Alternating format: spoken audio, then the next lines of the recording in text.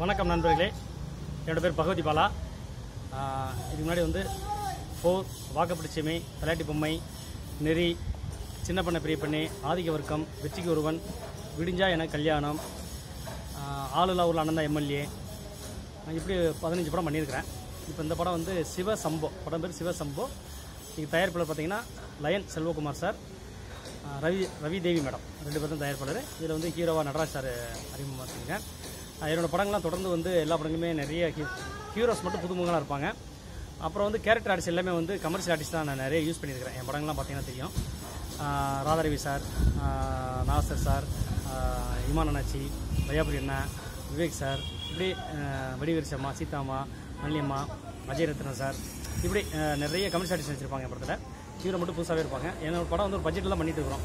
ஒரு என்னோட அதிகபட்சம் வந்து ஒரு டூ சி இல்லை த்ரீ சி அந்த ரேஞ்சில் தான் படம் பண்ணிட்டு இருக்கிறோம். எல்லா படமே ரிலீஸ் ஆகிருக்குது எல்லாமே மக்கள் எல்லாம் வரவேற்பு கொடுத்துருக்காங்க. என்னோடய படம் வந்து சதை நம்பி எடுக்கல கதை நம்பி எடுக்கிறேன்னு பல தடவை சொல்லியிருக்கிறேன். இப்போ அதுதான் சொல்கிறேன் எப்போதுமே வந்து நல்ல மெசேஜ் இருக்கும். ஒவ்வொரு படத்துலையும் ஒரு மெசேஜ் இருக்கும். நான் இல்லை என்னோட படம் பண்ண அத்தனை படத்துலையுமே நல்ல நல்ல மெசேஜ் சொல்லியிருப்பேன். ஸோ சென்சார் அதிகாரிகளே ரொம்ப பாராட்டுவாங்க. பரவாயில்ல நல்ல மெசேஜ் சொல்லியிருக்கீங்க இருப்பாங்க இப்போ நெறி படத்தை பார்த்தீங்கன்னா ஃபுல்லாக ஸ்கூல் ஒரு ஒரு கவர்மெண்ட்டில் கவர்மெண்ட் டீச்சர் அவங்க பசங்களை கவர்மெண்ட் ஸ்கூலில் சேர்க்கணும் அப்படின்னு ரொம்ப வலியுறுத்தி சொல்லியிருப்பேன். இதேமாரி ஒன்றும் இல்லையா? மாதிரி ஃபோருங்கிற படத்தில் வந்து கிளைமேக்ஸில் வந்து பார்த்தீங்கன்னா அந்த ஃபஸ்ட்டு ரேங்க் ஸ்கூலில் வந்து ஃபஸ்ட்டு தேர்டு செகண்ட் இப்படி பண்ணால் ம மண்ணில் பாதிக்கிறாங்க அதெல்லாம் பண்ணக்கூடாதுன்னு சொல்லியிருக்கேன். அதேமாரி பண்ணி ஸோ ஒவ்வொரு படங்களும் இப்படி நிறையா மெசேஜ் சொல்லியிருக்கிறேன். இந்த படத்தில் வந்து போலீஸ் வச்சு ஃபுல்லாக போலீஸ் வச்சு மெசேஜ் சொல்லிட்டு இருக்கிறேன் ஃபுல்லாகவே முழுக்க முழுக்க. இடையில வந்து நம்ம விஷால் அண்ணா வந்து ஒரு பிரச்சனையை உருவாக்கிட்டாரு. ஏன்னா நாலு கோடி ரூபா கம்மி இருந்தால் யார் படம் பண்ணாங்கன்னு அப்படின்ட்டு சொன்னதும் நான் ஷாக் ஆகிறத மற்றவங்க நிறைய ஷாக் ஆகிட்டாங்க இந்தமாரி அப்கமிங் டேரக்டருங்க ஏன்னா இப்போ எங்களுக்கு கிடைக்க பிடிச்ச புது முயற்சி பண்ணும்போது அதிகபட்சம் ஒரு ரெண்டு கோடி மூணு கோடிலாம் படம் பண்ண முடியாது. பண்ண முடியாது. ஏன்னா ரிட்டர்ன் வராது. அவ்வளோதான் பிஸ்னஸ் இருக்கும். இவங்க வந்து இப்போ விஷால் சொன்னார் அவர் விஷால் வந்து அவர் மைண்டில் சொல்லிட்டார். ஏதோ அவர் வந்து நம்ம நாலு கோடி ரூபாய்க்கு கூப்பிட்ற மாதிரி பே- பேசிட்டாரு. அவர் என்ன சொல்லிருக்கா நான் என்ன வச்சு படம் பண்ணுறது நாலு கோடி கம்மி வராதுன்னு சொல்லியிருந்தா நல்லா இருந்திருக்கும். நாலு கோடி ரூபா வச்சு படம் பண்ணக்கூடாதுன்னு சொன்னால் அவர் எப்படி பண்ண முடியும்? ஒரு படத்தோட இன்னைக்கு வருமானம் என்ன இருக்குது? அந்த ஃபைவ் ஸ்டார் ஹோட்டலில் இருந்துக்கிட்டு அவர் வந்து அன்றைக்கி யாருமே பெட்டி கடி போகாதுங்க மாதிரி சொல்லிட்டு சொல்லிட்டு இருக்காரு. ஃபைவ் ஸ்டார் ஹோட்டலுக்கான வருமானம் ஒன்று இருக்கும். அதே இது பெட்டி கடிக்கு ஒரு வருமானம் கையேந்தி பண்ணி ஒரு வருமானம் இருக்கும். ஆனால் கையேந்தியோ பெட்டி கடி இல்லை ஃபைவ் ஸ்டார் ஹோட்டல் கிடையாது. எல்லா ஊர்லேயும் ஃபைவ் ஸ்டார் இருக்குது. அது மாதம் மாதம் என்ன பெரிய படமாக ரிலீஸ் சைட் இருக்குது. பெரிய படங்கள் ஒரு மார்க்கெட்டு எங்களை பேர் சின்ன சின்ன படங்கள் ஒரு மார்க்கெட்டு ஒவ்வொரு ப்ரொடியூசரும் கொஞ்சம் பயந்துட்டாங்க. இதனால் நிறைய பேர் பின் வாங்கிட்டாங்க. நல்லா தெரியும். நிறைய பேர் பின் வாங்கிட்டாங்க. இப்போ இவர் வந்து நானும் சொல்கிறேன் நாலு கோடியில் ஐம்பது கோடி ரூபா படம் விட்டோம் இவர் சம்பளம் எல்லாத்துக்கும் கொடுப்பாங்களா? இப்போ இவர் சம்பளம் என் படத்தில் நினைக்கிறேன் ஒரு சுப்ராஜனனுக்கோ ஒரு வையாபிரனுக்கோ விசாலோட சம்பளம் கொடுக்க முடியுமா? விசால் சொல்ல வேண்டியதான் யாருமே வந்து ஒரு ஒரு ரூபா கம்மி சம் கம்மி சம்பளம் வாங்காமல் நடிகன்னு சொல்லிட்டோம். ஆட பட்ஜெட் ஏற போகுது. நீங்கள் எதுக்கு இப்போ நடிகர் சங்கத்தில் நீங்கள் தலைவராக இருக்கீங்களா நடிகர் சங்க கட்டணம் போடுங்க. நடிகர் சங்கத்துக்கு அத்தனை நடிகர்களும் சின்ன சின்ன நடிகர்லேருந்து பெரிய நடிகர் அத்தனை பேரும் யாராக இருந்தாலும் படம் நடிக்க கூப்பிட்டால் ஒரு கோடி ரூபா கம்மி யாரும் போகக்கூடாது. நீங்கள் சம்பளம் ஒரு கோடி ரூபா வாங்கணும் ரெண்டு கோடி வாங்கணும் நான் வந்து நீங்கள் பத்து கோடி ரூபா சம்பளம் வாங்கிட்டு இருக்கிறேன். நீங்களும் அந்த பத்து கோடி ரூபா சம்பளம் வாங்குங்க அப்படின்னு சொல்ல முடியும்? தைரியம் இருக்கு அவருக்கு? இதுமோ ஏதோ போகிற பக்கம் சொல்லிட்டு போகிற மாதிரி இது என்னன்னா எங்களை மாதிரி இயக்குனர்களை புதுமுக இயக்குநர்கள் ரொம்ப பாதிக்கும். அது தெரியல அவருக்கு. இது வந்து இந்த நடிகர் டேரக்டர் யூனியன் ஒன்றுமே கண்டுடல கம்முன்னு இருக்கிறாங்க. ஏன்னா இப்போ வந்து சரணா ஸ்டோர் இருக்குது. அங்கே சரணா ஸ்டோர் பெரிய ஸ்டோர்.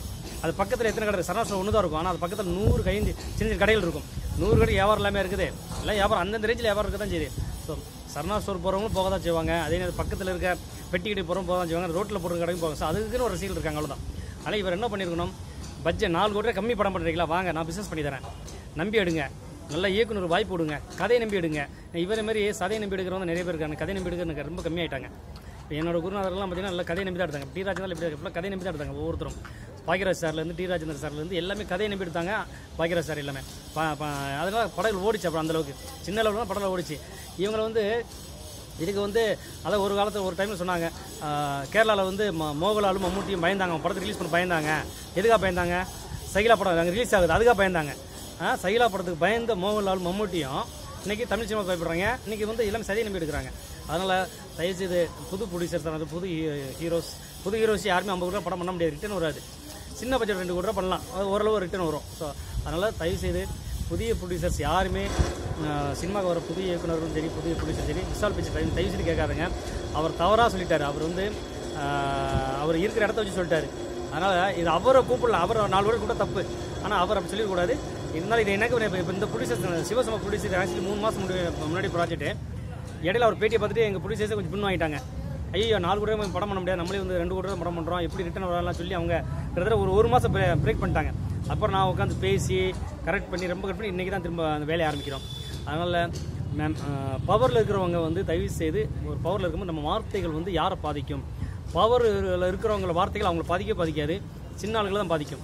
அதேமாரி நீங்கள் வந்து பேட்டி கொடுக்கும்போதோ எதோ ஆனாலும் சின்ன ப்ரொடியூசர்ஸ் மைண்டில் வச்சுக்கிட்டு சின்ன ஹீரோஸ் மைண்டில் வச்சுக்கிட்டு இப்போ விஷால் என்ன வரும்போதே நூறு கூட படம் பண்ணிட்டா செல்லமை படம் இன்னும் நூறு கூட பட்ஜெட்டா? நீ தனுஷ் பண்ண துள்ளு எல்லாமே நூறு கூட பட்ஜெட்டா? சின்ன படம் தான் பெரிய படத்துக்கு வர முடியாருமே யாருமே. அதனால் தயவுசெய்து இதேமாரி எந்த ஒரு நடிகரும் யாரும் வந்து ஒரு அபத்தமான ஒரு தயவுசெய்து பேட்டியை கொடுத்து மற்ற அவளுக்கு சிக்கல் எழுத்துறாங்கன்னு சொல்கிறேன் இந்த படம் சிவசும்ப படம் வந்து டிசம்பரில் வந்து ஆடியோ ஃபங்க்ஷன் வைக்கிறோம். ஜனவரி ரிலீஸ் பண்ணுறோம் இந்த படம். என்னோடய படங்கள் ஒவ்வொரு படமும் ஜனவரி ஜனவரி ரிலீஸ் பண்ணிகிட்டே இருக்கிறேன்.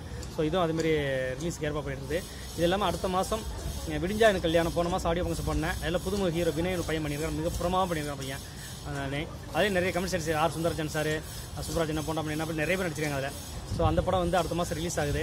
அது எனக்கு அது எனக்கு பதினஞ்சாவது படம். ஸோ எல்லாரும் தொடர்ந்து எனக்கு தேட்டரில் தொடர்ந்து எனக்கு தேட்டர் கொடுக்குற முதலாளிகளுக்கும் மேனேஜர்களுக்கும் தேட்டரில் படம் பார்க்கும் ரசிகர்களுக்கும் எல்லாருக்கும் எனது நன்றி கலந்த வணக்கத்தை தெரிவித்துக்கிறேன் நன்றி வணக்கம். இன்று உங்கள் பாசிட்டிவ் பக்கத்து படம் தேங்க்யூ